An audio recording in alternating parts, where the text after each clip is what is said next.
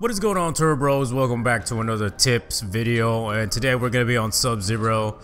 Um, typically when I spawn from here, I go straight in between the Canada land flag and pre-aim, look to my left, see if there's anybody there, and yes we have somebody right there, he pop out like a groundhog. And then you look to in front of you, then you look to your left, there's nothing there, boom, Ooh, I got hit, but that's all right though. There were two people, did not expect that. You, you know, you can't always expect to go flawless in a match, you know what I mean? But you can try. So uh, these tips that I'm about to give you are basically a mix of uh, like a class setup to use, um, perks, how to adjust to the flow of the game, how to take what the game is giving you.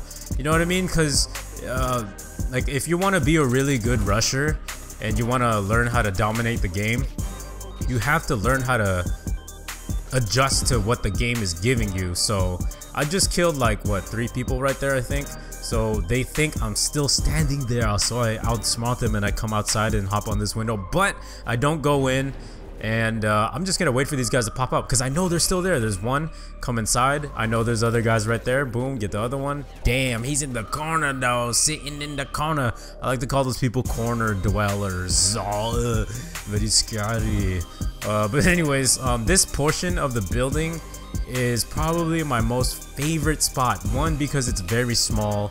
Uh, there's really only one area I have to worry about being flanked from and it's like pretty easy to maintain. And if you're in this area try to close the garage door or have a teammate do it. Luckily I think a teammate did it for me so I don't have to do it. And the reason why I, like having the garage door closed which is right there what I'm pointing out right there is because if the garage door opens that means that enemies are breaching in and we have to be ready for impact. So um Ooh, shit, excuse me, that was not very ladylike. I apologize. See that stairs right there? Always pre-aim down the stairs. I don't care if you think nobody's there, you always have to pre-aim because you never know uh, if if an enemy's gonna pop up, if he's got dead silence. And that, that little area right there that I'm pointing at is where enemies really like to come into the building from. So you have to pay attention to that and also pay attention to down that little corridor right there that I'm looking at. And the reason why I'm coming here, I don't really like to hang out here normally, I really don't. Because um, underneath me right now, there's a little uh, staircase area that an enemy could come, could come like under, I said gum, what the fuck?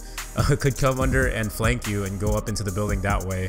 But the only reason why I went there is because there's a sentry watching there and I have enemies over there. Now this little balcony area is an area you want to be really careful if you're trying to uh, kill somebody. You have to be sure that you're to get that kill and it is safe because I've died a lot.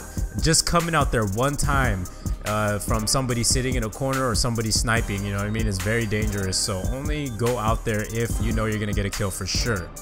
Now, um, uh, you know, if you're on PlayStation and you're waiting for these maps to come out, uh, I get asked this question a lot and uh, they ask me, you know, what, what do I think of the DLC? Is it worth getting? Now, uh, my opinion is that if you're a hardcore gamer and you really like playing Call of Duty Ghosts, and you're tired of playing on the same old big ass maps all the time, I say yes, get this DLC. This DLC is not that bad. You know what I mean? It's not that bad. It's not the best one, but uh, this map right here is the one I really like the most. So if you want my opinion on uh, this map, I really love this map. It's very uh, traditional Call of Duty style, no bullshit, you know what I mean?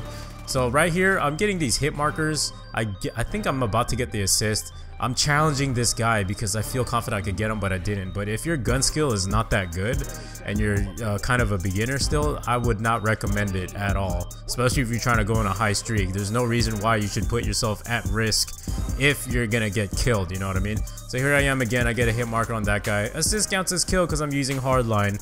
And by the way, the class I'm using is the Honey Badger Extended mags, with grip. The Honey Boo Boo is the Bay, you already know.